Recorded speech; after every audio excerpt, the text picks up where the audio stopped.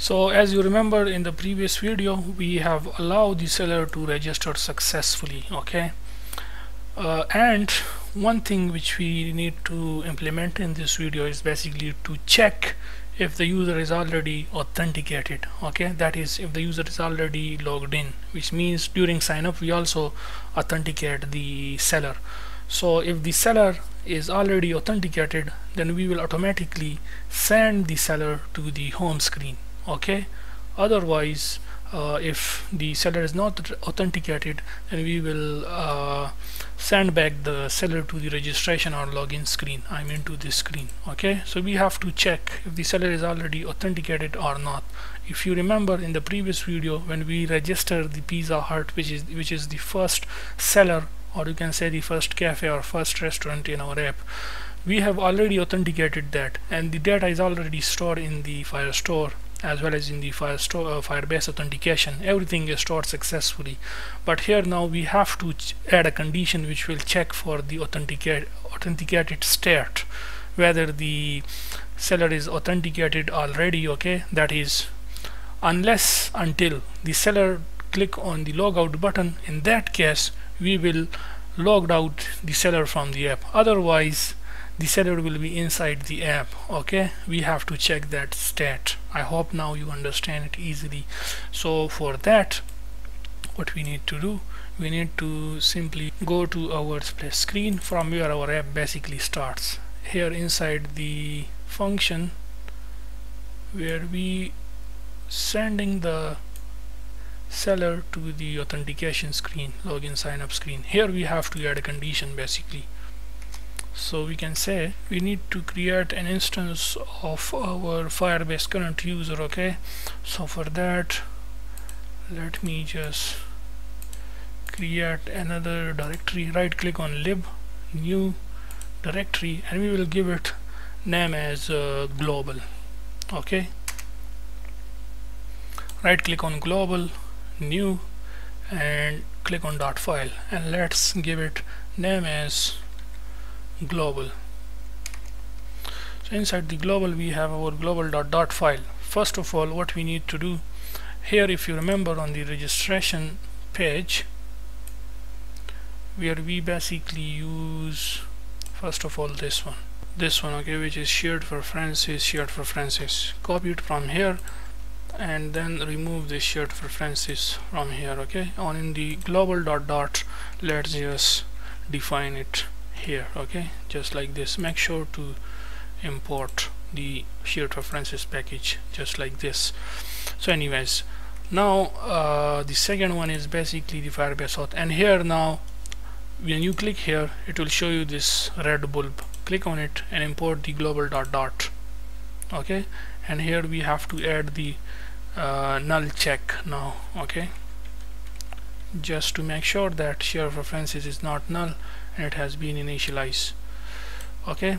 The reason for this is basically when you we use it here in the global we define it here then there will be no need to define it again and again whenever if we require the share preferences in the app for retrieving the information later on in the course. Okay? So anyways now what we need to do on the registration dot dart the next thing is the firebase auth which we use here which is this one inside the function this function final firebase auth for this. Just copy this whole I mean cut this from here okay and go to the global dot dart file and simply paste it here okay and make sure to import this firebase auth. Remove the final keyword from it just like this. And on the registration dot dart just remove this firebase auth okay and retype it. So you will see this as a suggestion also okay which belongs to our global dot dart. So import this one firebase auth. So simple and so easy. So now there is no need to define the Firebase auth or share preferences again and again. Here we have even initialized the Firebase auth. Okay, now I will tell you. Now here on the share splash screen we need that Firebase auth. So in order to access it, there is no need to define it again on the splash screen. Instead, we can simply uh, I mean access that Firebase auth directly by simply saying here that is Firebase auth so simple and so easy dot current user not equals to null let's and we can add this condition inside the timer. So cut this from here and inside the timer which is this one we can check. That is if firebase auth dot current user not equals to null which simply means that if the user is already logged in or authenticated then in that case so copy this navigator dot push okay and here we can say navigator dot push send the user to the home screen. Okay if the user is already logged in which simply means authenticated. Remember when we sign up we basically create user with email and password which simply means authenticated with the Firebase authentication. And with that the user is already logged in in the app and that is why the user was on the login uh, the home screen in the previous video okay during the testing. I hope you remember that. Now if we test the app after this condition let me just write it quickly. You will notice that we are already on the home screen okay because the user is already logged in with the sign up okay so it simply means if the current user not equals to null which simply means the user is already logged in send the user I mean the seller okay? By user I mean the seller as we are working on the seller app okay? So the seller will be on the home screen. Otherwise the seller will be inside the authentication screen. So if I run the app now okay? Now you will see it.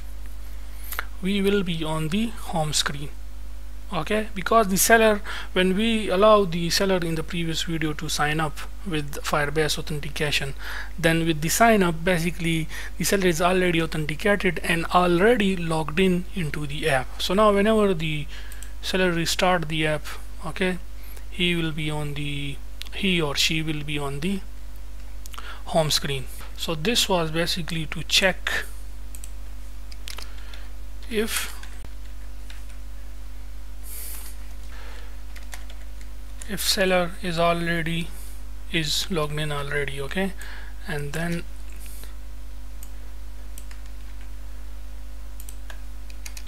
if seller is not logged in already